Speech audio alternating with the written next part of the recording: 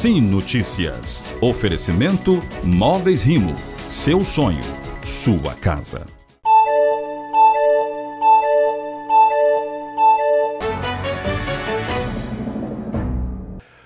Olá, começa agora a edição desta quinta-feira do Sim Notícias com os principais destaques de Linhares e região. Veja nesta edição.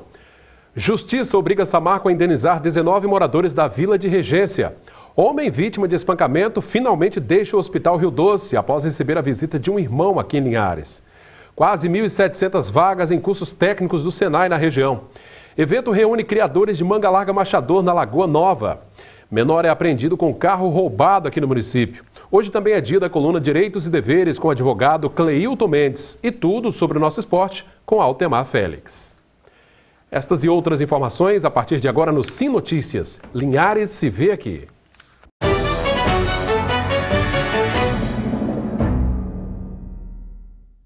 A Justiça condenou a mineradora Samarco a pagar indenizações a 19 moradores da Vila de Regência. Cada um terá direito a receber quase 32 mil reais de indenização pelos prejuízos causados pela empresa.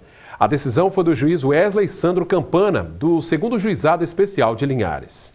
As ações foram ajuizadas por moradores da região de Regência, onde fica a Foz do Rio Doce, a área mais atingida pela lama de rejeitos da Samarco depois da tragédia em Mariana. O juiz do segundo juizado especial de Linhares, Wesley Sandro Campana, julgou procedente pelo menos 19 ações de moradores da Vila de Regência contra a mineradora Samarco. Cada um terá direito a receber quase 32 mil reais de indenização. E os valores deverão ainda ser acrescidos de juros e correção monetária. Os moradores sustentam que a empresa foi negligente com o rompimento da barragem, permitindo que os rejeitos de minério chegassem ao Rio Doce. E por conta da tragédia, a comunidade de Regência passou a conviver com a falta de água. Com o rio e o mar sujos de lama, os turistas desapareceram e os pescadores ficaram sem trabalho. Muitas famílias estão passando por dificuldades. Se a gente pega um peixe, ah, eu não vou comprar esse peixe porque está contaminado, né? E o que, que a gente vai fazer? Porque se está contaminado, eles têm que vir beneficiar a gente, né? Porque a gente vive da pesca, não vive de outra coisa. O juiz alegou na decisão que, embora a Samarco sustentasse que os rejeitos de minério não teriam poluído a foz do Rio Doce, a morte de milhares de peixes é apenas uma das várias provas de que o rio foi devastado pelos rejeitos de minério. Fico até sentado aqui, olhando para ele, pensando o dia da manhã, o que, que vai acontecer com nós, nós pescadores de, de regência acabou mesmo a pescaria aqui dentro de Regência. O juiz Wesley Sandro Campana termina a sentença dizendo que, sem assumir os danos causados à população de Linhares, a Samarco se mostra pouco incomodada com os estragos deixados. Diz ainda que tentar defender o que é indefensável só faz demonstrar que a Samarco zomba da cara dos moradores que vivem nas regiões afetadas. Pois é, em nota, Samarco limitou-se a dizer que está ciente das ações na Justiça do Espírito Santo e que vai recorrer de todas essas decisões. Depois de quase dois meses internado, finalmente José Ribeiro de Souza, o homem resgatado por uma ambulância da Eco 101, ferido às margens da rodovia em Soretama, após ser espancado, teve um encontro com a família. Logo que o caso foi divulgado pela imprensa, um dos irmãos de José, que mora em Colatina, veio visitá-lo. E finalmente, nesta quinta-feira, outro irmão, que mora em Vila Velha, veio com a esposa para buscá-lo. Final feliz para essa história do seu José. O Senai do Espírito Santo lançou um edital para o preenchimento de vagas em 13 cursos técnicos em todo o estado. Ao todo, estão sendo ofertadas 1.685 vagas, em sua maioria para os turnos da tarde e da noite, em oito unidades. Anchieta, Aracruz, Cachoeiro de Itapemirim, Colatina, Linhares, Serra, Vila Velha e Vitória. São cursos nas áreas de eletrotécnica, meio ambiente, segurança do trabalho, mecânica, redes de computadores, vestuário, informática, refrigeração e climatização, alimentos, edificações, logística, desenho da construção civil e automação industrial. Toda quinta-feira você confere a coluna Direitos e Deveres com o advogado Cleilton Mendes. Vamos ver.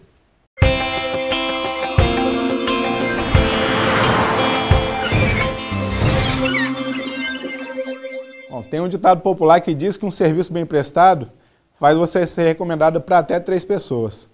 E um serviço mal prestado faz você se queimar até com 300. E em termos de internet e mídia social, são vários os canais e amplificadores que nós temos para reclamar de determinado serviço.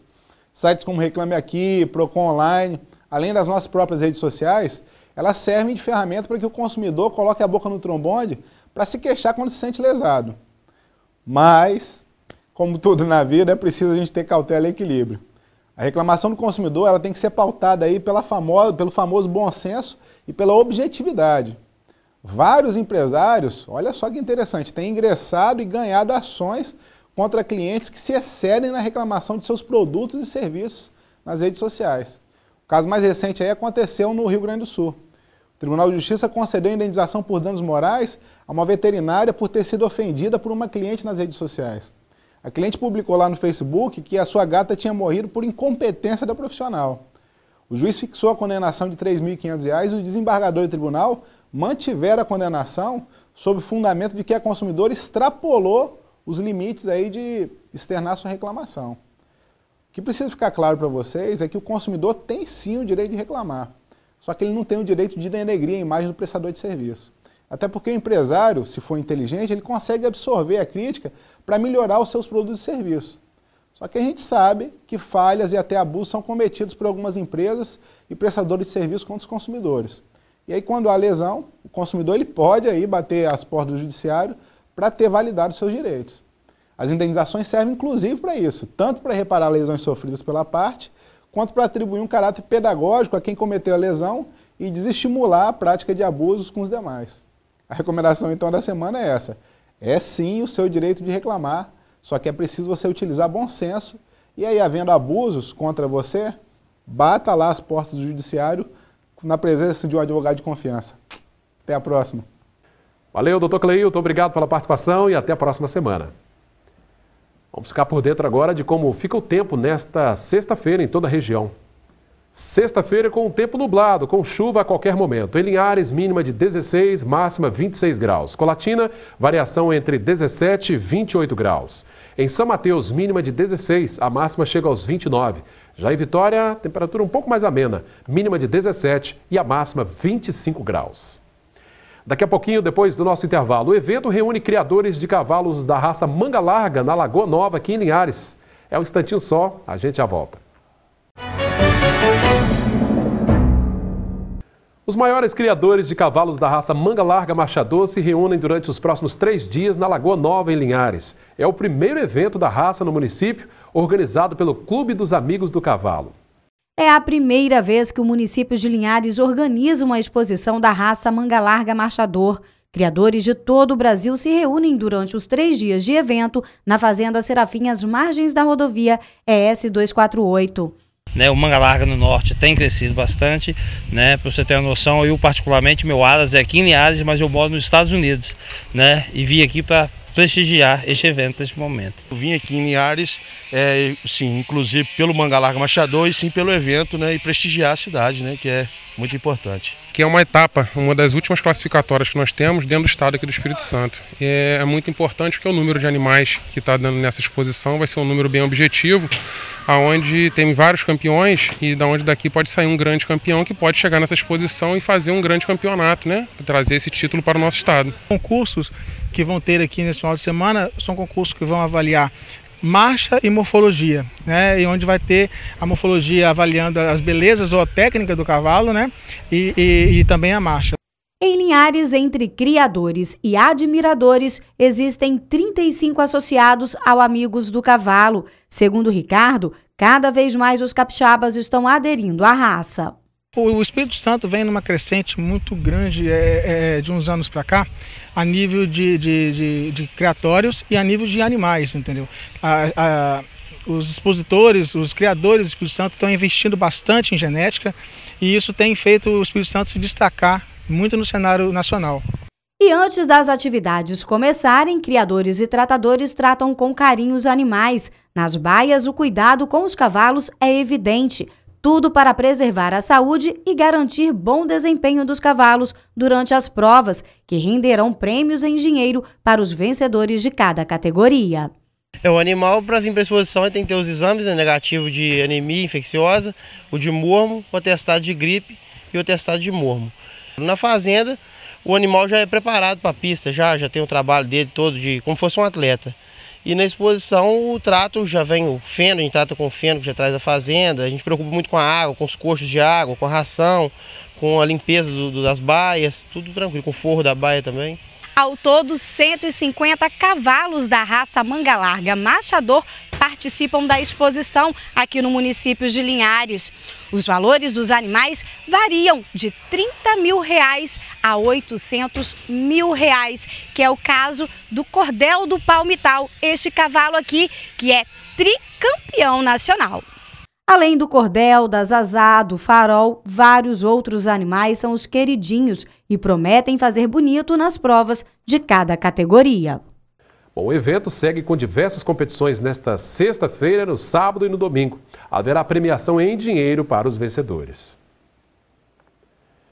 A polícia conseguiu apreender em Linhares, na madrugada desta quinta-feira, um veículo roubado na serra há cerca de dois dias. O Fox preto que você vê aí na imagem estava sendo conduzido por um menor de 16 anos, abordado numa blitz na rodovia de acesso à fazenda Jataipeba por volta de uma hora dessa madrugada. O menor chegou a dizer que o veículo pertencia à mãe dele, mas a polícia descobriu que, na verdade, o carro havia sido tomado em assalto na Grande Vitória. O adolescente já tem várias passagens pela polícia pelo mesmo tipo de ato infracional. No interior do veículo foram encontrados ainda dois pinos de cocaína e uma bucha de maconha, além de dinheiro. O menor foi levado para a Delegacia Regional de Linhares, onde o carro está apreendido. Confira como fechou o dia o mercado do café.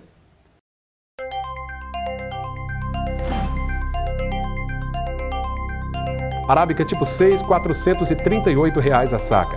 Arábica 7, 376 reais. Conilon tipo 7, cotado a 375 reais a saca. Agora tudo sobre o nosso esporte com Altemar Félix. Sim, esportes. Ufa, Cláudio, finalmente a seleção brasileira se vingou da Alemanha. Venceu de 7 a 1, mas é brincadeirinha. Hein? O adversário não foi a Alemanha e nem uma colônia dos alemães. Nós vencemos o Haiti. Afinal, como diria aquela música, né, aquela letra, é, eu acho que é do Caetano Veloso, né? O Haiti é aqui. Pelo menos se compararmos a inflação alta, a miséria, que aqui existe em diversos setores, né, em diversas cidades, os desmandos naquele país e até a alegria do povo. Só não tem a guerra de lá. A guerra daqui é uma guerra diferente, né? Bom, vamos conferir aí alguns dos sete gols. Brasil 1 a 0. É, se o negócio era chutar, tá aí, ó. Felipe Coutinho colocou em prática a lição. Depois, é, tem esse gol aí do Brasil 3 a 0. O jovem Gabriel Gabigol vai buscando seu espaço aí, deixou dele. E no 6 a 1 é, quando o Brasil não fez, os haitianos entregaram o ouro. Tava fácil, Renato Augusto. Inclusive, é, Felipe Coutinho, Renato Augusto e o Gabriel fizeram todos os gols desta goleada de 7 a 1. Teve até um gol histórico, né, o de Marcelan para o Haiti. Bom, gente, o próximo jogo do Brasil vai ser contra o Peru. É, pela a Copa América. Os haitianos vão enfrentar na última rodada o Equador. O Brasil tem que vencer o Peru e torcer para que o Equador não faça uma diferença superior a seis gols sobre o Haiti para se classificar em primeiro lugar para a próxima fase. Não é algo difícil de acontecer. Acontece neste final de semana, no sábado e no domingo, em Pontal do Ipiranga, o WS Pontal Open de Surf, organizado pela ASL, a Associação de Surf de Linhares. A associação vem se mobilizando após a tragédia ambiental com Rio Doce para apoiar os surfistas locais como forma de estímulo para a prática do esporte. O torneio será dividido em cinco categorias: Open, Master, Regional, Longboard e Feminino. As inscrições podem ser feitas online através do site www.campeontime.com.br. Atletas paralímpicos de várias modalidades participaram de uma campanha internacional contra a meningite, uma doença que atinge milhares de pessoas em todo o mundo. Entre os representantes brasileiros na campanha está a capixaba Ivanilde Cândida da Silva, do basquete em cadeira de rodas. A vida dela é uma verdadeira lição de superação. Se no esporte a Ivanilde é uma vencedora, na vida ela é muito mais do que isso. Segundo os médicos, o milagre Aos nove meses de idade, internada junto com outras três crianças, com quadro de meningite meningocócica, ela foi a única sobrevivente. O médico falou assim: mãe, se você tem fé em algo, se apegue a ela, porque a sua filha está entrando lá para a sala. Se ela vai sair, é só Deus. Você saiu, mas você foi a única, né, das outras três crianças que estavam com o mesmo problema, né? Exatamente. Acredito que Deus tem um propósito para minha vida, por isso que estou aqui hoje. A primeira batalha pela vida foi vencida, mas deixou marcas pelo corpo. Além de perder alguns dedos, ela sofre até hoje com o encurtamento de uma das pernas, entre outras sequelas. Nada que diminuísse a vontade dela. Eu só tenho que agradecer a Deus pela cabeça que eu tenho, pela família que sempre me apoiou e me tratou como uma criança normal. Minha mãe não tinha aquela, aquele cuidado tipo, ah, você não pode fazer isso porque você não tem um dedinho, ah, você não pode fazer, você não pode fazer aquilo porque sua perna é uma maior que a outra. Não, minha mãe mete bronca. Você pode fazer, você é uma pessoa normal. Você só tem que saber conhecer as suas limitações para você saber onde você pode chegar e onde você não pode chegar. Batalhadora e competitiva, a Ivanilde agora quer usar o seu exemplo de vida para evitar que outras pessoas passem pelo mesmo problema que ela passou. Junto com outros atletas paralímpicos, ela aderiu a uma campanha de prevenção contra a meningite.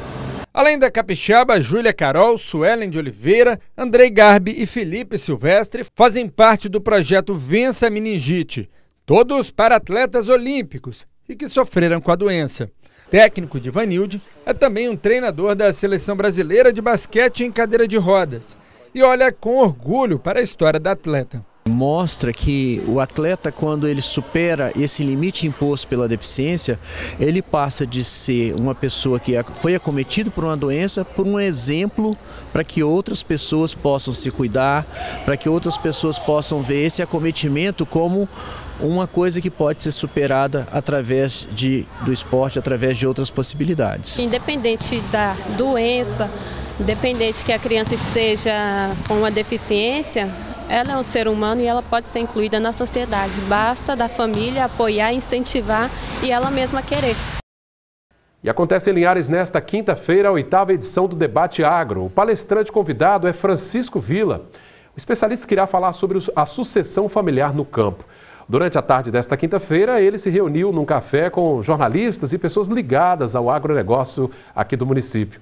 O oitavo debate agro acontece no auditório do Hotel Deizin, no centro da cidade. Bom, e esta edição do Sim Notícias está terminando. Você, claro, pode participar conosco enviando sugestões. O número do WhatsApp está aí no seu televisor, 998506060. Confira também o nosso conteúdo nas redes sociais, no facebook.com.br TVC Linhares e também no nosso canal no YouTube. O telefone da redação é este, 3373-2000. Obrigado pela audiência, até a próxima edição. Sim Notícias, Linhares se vê aqui.